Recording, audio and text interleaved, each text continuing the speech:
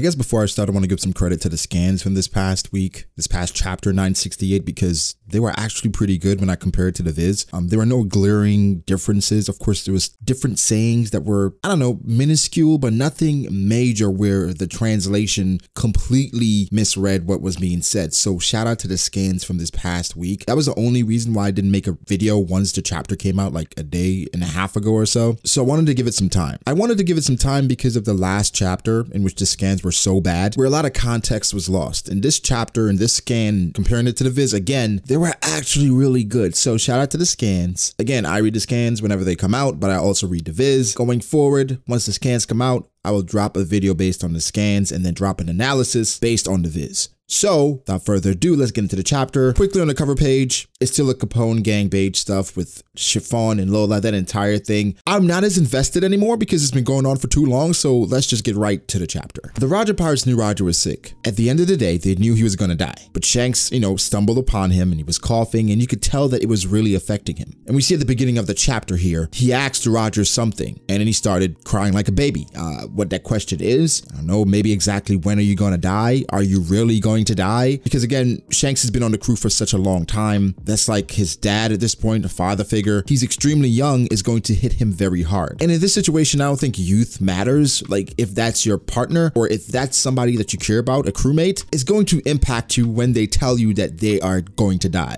They talked about the effect that Roger finding the One Piece had on the world. Something I said before was that, okay, well, what was the proof that Roger actually found the One Piece? I guess for a lot of people, they wanted to find the treasure that people said he had. And everything that Roger gained, they were calling it the One Piece. And because of that, now everyone is going after Roger. I believe the smart pirates were the ones that actually faced Roger before and understand just how much of a monster he was. But these pirates, these naive newcomers trying to make a name for themselves, they all feel like they can take out Roger and take the treasure. They were the people going after Roger. Of course, you know, ignorance is bliss. You don't know what Roger can do. So of course, you're just going to go after him and expect to come out on top, I guess. We knew this, but in the newspaper, they were saying the man that achieved wealth, power, and fame, they were calling him the Pirate King Gold Roger. But then Roger said, no, my name is Gol D. Roger, the king of the pirates. I guess it has a nice ring to it. They're now speaking from the perspective of knowing what the what the One Piece is. Well, not what the One Piece is, because the One Piece was what Roger's fame or what Roger's treasure was. They now know what the treasure that Joy Boy left behind was, like the meaning to it all. They know the history of everything. So now they're saying, well, we understand why the world government would hide your name because obviously the D means something really significant to the world government and to the, the history of the world in general.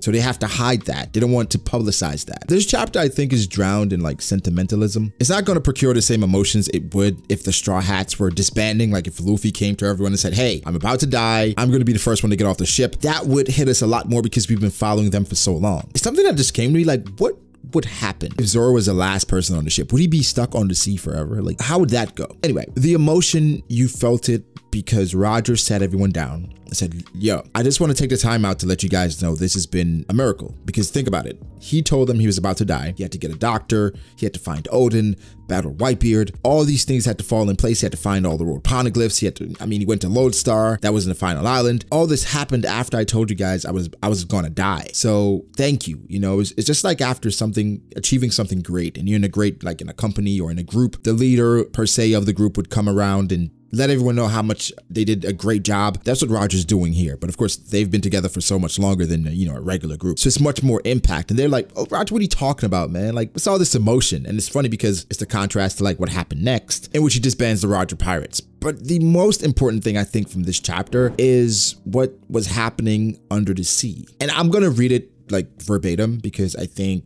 everyone can come to their own conclusion, but once you hear exactly what's said, I think it's pretty clear what's going on. And these are the Sea Kings, or the Neptunians, whatever the fuck. The birthing is at hand. Our sovereign will soon be born, and another in a distant sea. The whales are delighted in anticipation of the day the two sovereigns shall meet again. We have been waiting for so long, it is almost here, and surely all will go well this time. Just 10 until the birth, another 15 to grow. And of course, Roger's now surprised, like, what, what the hell is going on? Like, who's talking? And then he thinks back to what Shyarly told him, saying that Shirahoshi would be born in 10 years. So he says, another 10 to be born, another 15 to grow. And it says, the two sovereigns shall meet again.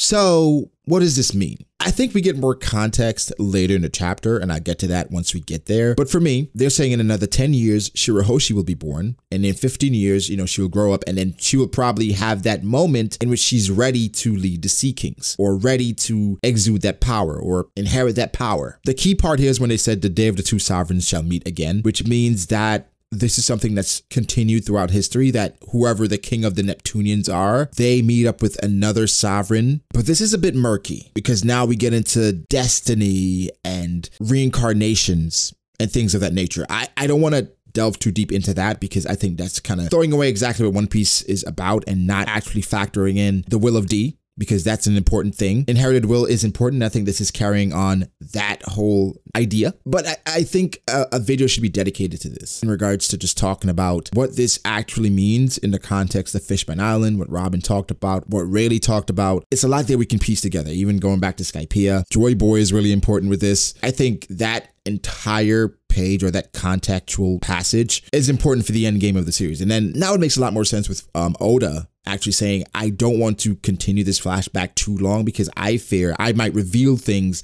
that I don't want to, I'm not ready to yet, which is funny at 968, but that's what Oda said. Something that also, you know, struck me was when Roger said, Hey, we were just too early. Um, and then of course the cool panel in which he says, you know, my son will find it, and he's like, you don't have one, and he's like, I will eventually. And you know, knowing what happens next, it's um, it's sad to think about. Again, sentimentalism. I really wonder what Rogers said to Rayleigh to make him break down like that. Maybe, you know, it's like, hey, partner, you know, I know we've been together for a while. I know that, you know, we've had uh, some amazing journeys, but I'm not going to die. You know, you had that moment with Rayleigh. We had it, we saw it in the anime or in the manga. In the anime, right? Where he, you know, they're in the bar, Rayleigh had the flashback. It was in the manga as well, but they're in the bar and Roger tells him, hey, partner, I'm not going to die. That's why I said youth doesn't matter because someone that you care about, knowing that they're going to die, that this was the last time you would experience their, you know, breath touch, presence in general is sad.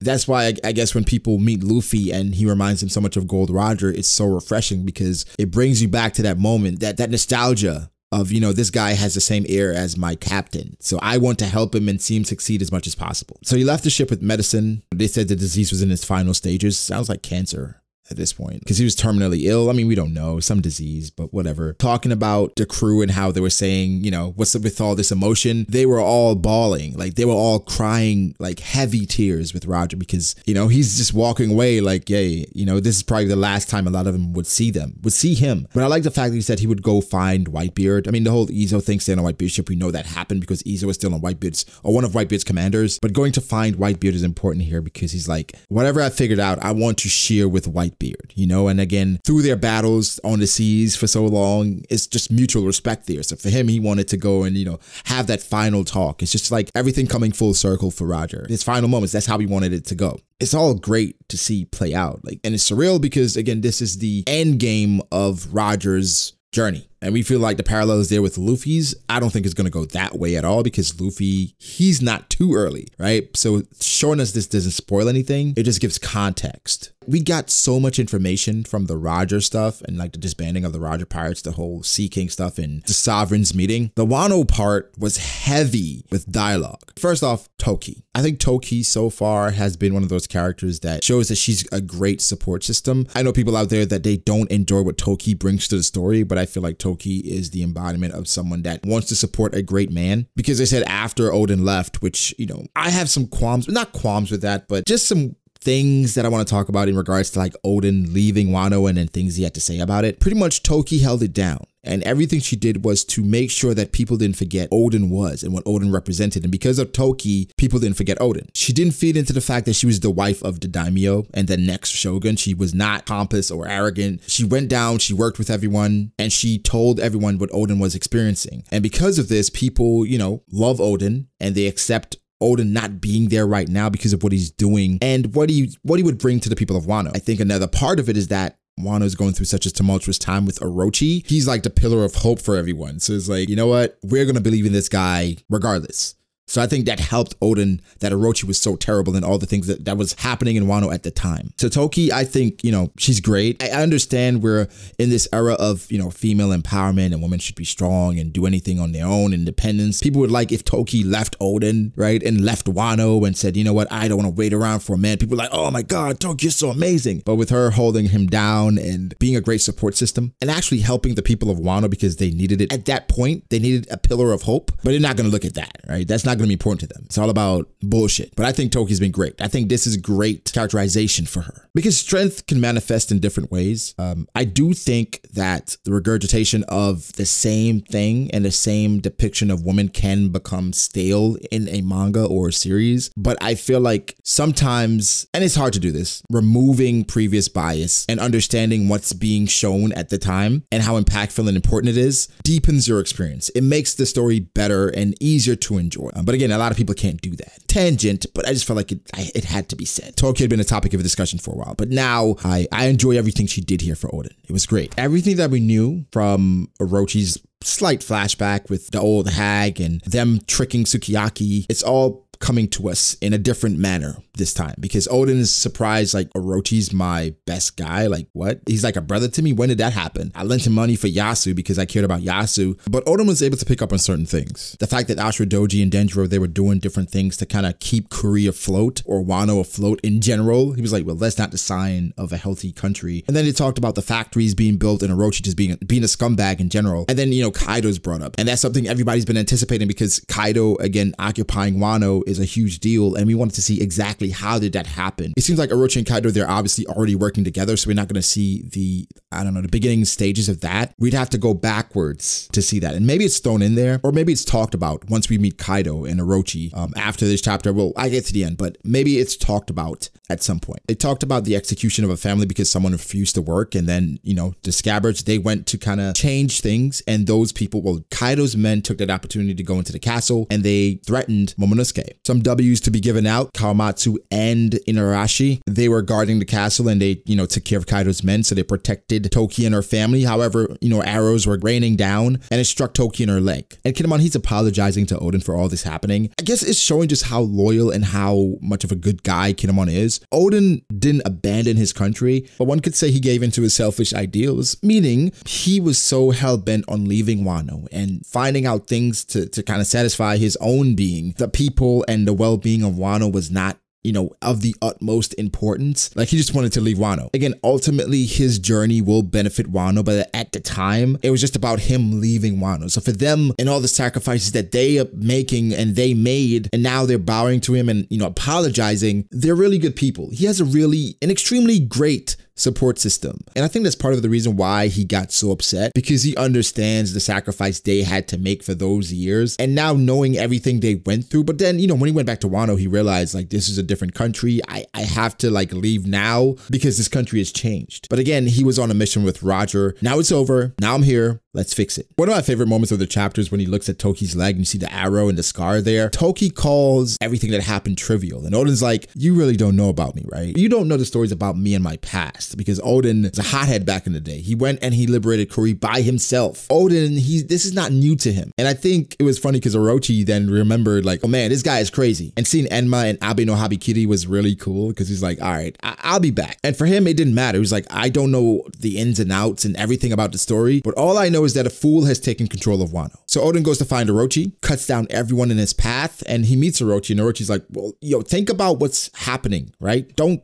just don't do any rash thing. And he's about to say Lord Oden, and he just says, he's like, I mean Oden, right? Because he's like, I'm the Shogun now, technically. And he said, Kaido's not gonna like it if you attack me. And Oden's like, bro, you think I care about Kaido? I'll worry about that after I cut you in two. And the chapter ends. One thing about this chapter that was really cool was that it's building that hype and that anticipation of Oden versus Kaido. I don't know how much of it we're gonna see. However, this is gonna be fantastic. In my opinion, I expect it to be really, really good. Like I think next chapter could be another legendary chapter. This chapter chapter wasn't bad. I think this chapter was really, really good because it leads to, uh, it I feel like it kind of gives us some conclusive evidence of what's to come. The Joy Boy thing, I think there's a lot to it. I promise a video is coming on that. But overall, we're going to see exactly what happens here because something to keep in mind. Nothing major can happen right now because Oden doesn't die for another five years or so. So unless Kaido wasn't there in Wano at the time and he comes back five years later, Oden, Kaido, and Orochi, they were occupying each other's space for quite a while. So I'll make a video about that as well. Just give my thoughts on what happened or what happens. But it's great. Very good chapter.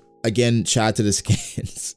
they did a great job. If you read the scans, I implore you to also read the viz to get a, I guess, a, a, better view of what happened because the scans are a bit more raw, while the viz, it's a lot more streamlined, right? Like the speech, you can tell it's a, a bit more formal. Like they want it to be as easy to the point of the viz is to make it as easy as possible to understand. So shout out to the translator, Steven, for being amazing. So that's about it, guys. Let me know your thoughts. How did you feel about this chapter? What are your thoughts on what was going on with the Sea Kings, Roger and the pirates disbanding, and Orochi in general? That entire sequence with Orochi Oden, how do you feel about that? All amazing stuff, guys. Give me your thoughts. Again, like the video if you did, subscribe to the channel for more content like this. Follow me on Twitter at BragoDAce. Follow me on Instagram at bragod.ace. Thank you guys so much for your support. Shout out to my patrons. I appreciate you guys so much. Again, like, subscribe. I'll catch you guys in the next one. Peace.